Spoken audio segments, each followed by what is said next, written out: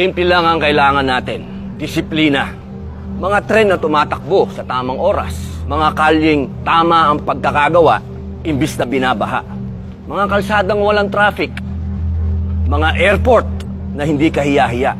Pulis na di kriminal, bagkus nang huhuli ng kriminal. Mga public servant na hindi nangaapi, kundi nagsisilbi. Mga mambabatas na di lumalabag, kundi nagpapatupad ng batas. Pangulong di nagtatago kung hindi namumuno. Gobyernong hindi kurap at mamayang hindi takot palagi.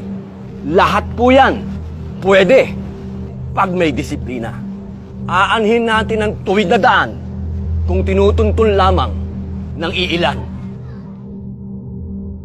Tigilan na ang kalokohan. Ang walang disiplina, disiplinahin. Disiplina Duterte para presidente.